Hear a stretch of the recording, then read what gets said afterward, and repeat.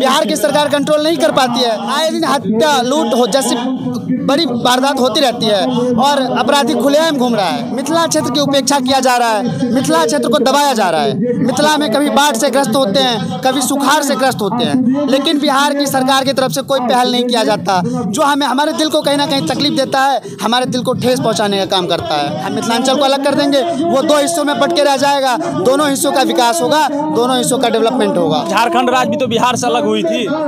आज आप देख सकते हैं झारखंड की क्या स्थिति है। झारखंड के पास रोज़गार है। झारखंड के पास अच्छी शिक्षाएँ हैं। लेकिन आज आप बिहार में जाके देखो मिथिला क्षेत्र की क्या दुर्दशा है। खास करके जो ये मौजूदा सरकार है, वो हमेशा से ही मिथिलांचल लोगों को कभी भी कुछ न देने को तैयार नहीं है। ये सबसे बड़ा कॉन्स्पेरेसी चल रहा है अभी, कि लोग समाज को बांटने में लगे हुए हैं। कहीं हिंदू, कहीं मुस्लिम, कहीं उच्च जात, कहीं नीची जाति। वर्ण के आधार पे कास्ट को डिवाइड किया जा रहा है और जो सामाजिक समरसता है, उसमें जहर घोला जा रहा है।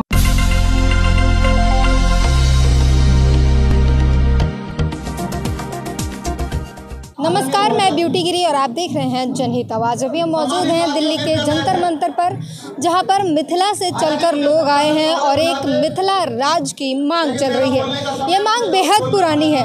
समय समय पर मांग उठती रहती है, आवाज़ बुलंद होते हैं, फिर धरना प्रदर्शन भी होते हैं और कई सारी चीज़ें होती हैं। इन्हीं से बात करते हैं, आखिर क्यों चाहिए अलग मिथिला राज?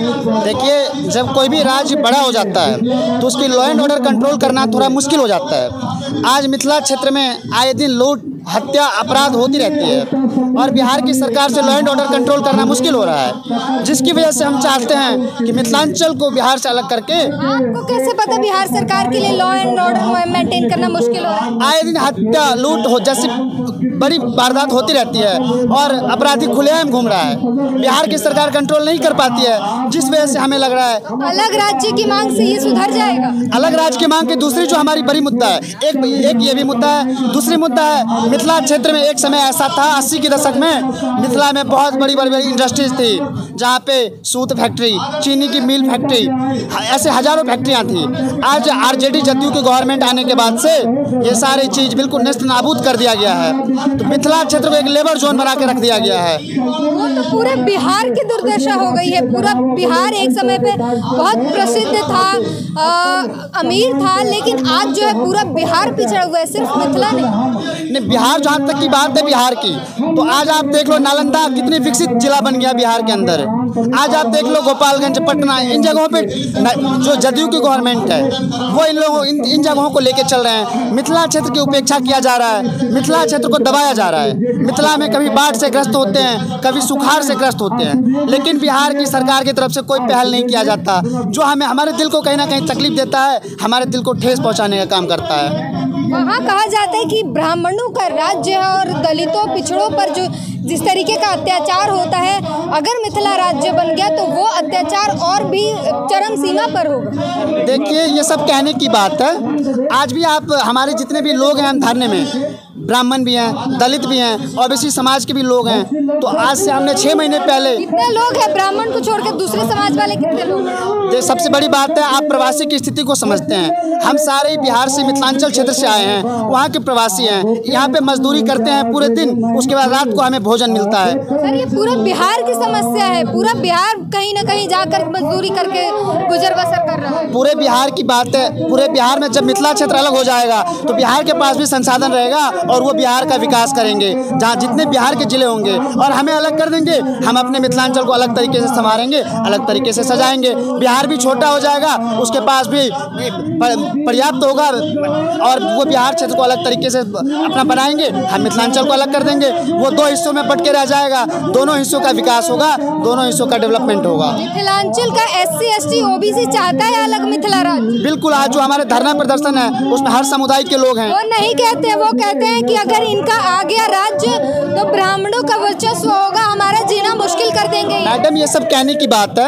ये सब आपके हर जगह दो चार लोग ऐसे होते हैं, इस तरीके के लोग होते हैं, दो चार हर जगह होते हैं। लेकिन सच्चाई ये है, जब आप ग्राउंड लेवल पे जाओगे तो सच्चाई ये है, हर समुदाय के लोग यही चाहते हैं कि हमारे मिथिलांचल को अलग कर दिया जाए। आज आप देख लो, हम राम जी को अयोध्या में सजाया गया है, राम जी को बसाया गया है। आज जानकी जी, जो राम जी के जानकी के बिना राम अधूरे, राम के बिना जानकी जी अधूरे, आज जानकी जी उपेक्षित होकर रह गए हैं। आज अगर वो नालंदा में होते पटना में होते तो उनका भी भव्य अनावरण मंदिर होता, भव्य मूर्ति होता। आज जानकी जी इतिहास के पन्नों में दब के रह गए हैं। वो मिथिला क्षेत्र चाहते हैं। मिथिला के साथ हमेशा से ही सौतेला व्यवहार किया जा रहा है। कौन कैसे सौतेला व्यवहार किया जा रहा है? क्योंकि आप जो समस्या बता रहे हैं ना सर वो पूरे बिहार में है।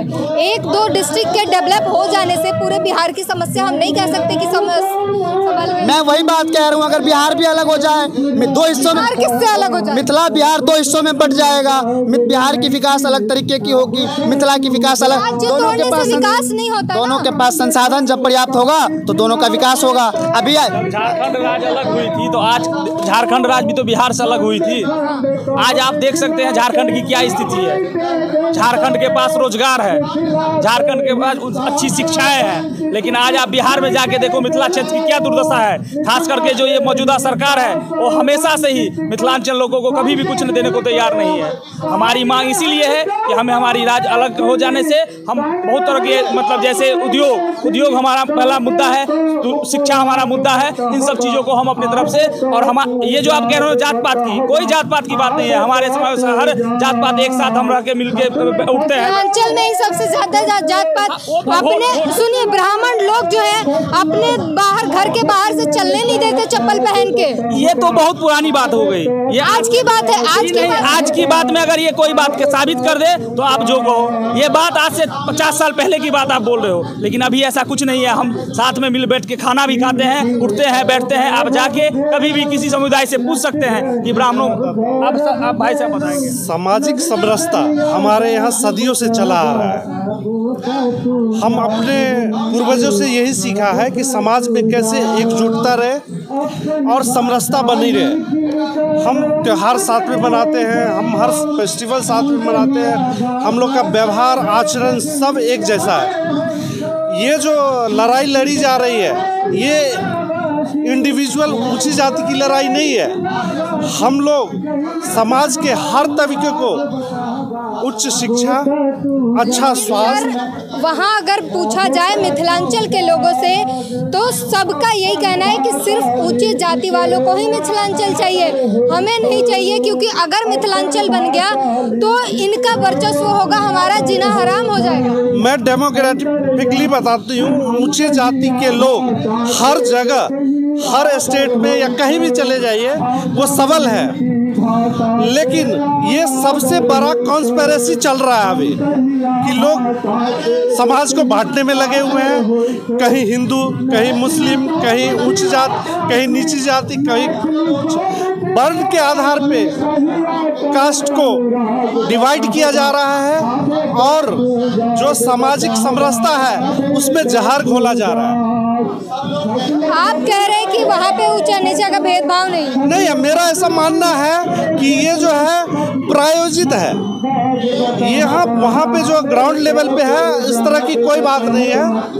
और सबको उचित स्थान मिलता है तो ये तमाम लोग जो है, मिथिलांचल से चलकर आए हैं, और अगर अलग मिथिला राज्य चाहिए, उसी की मांग को लेकर आए दिन जंतर मंतर पर कोई ना कोई धरना प्रदर्शन होते रहता है।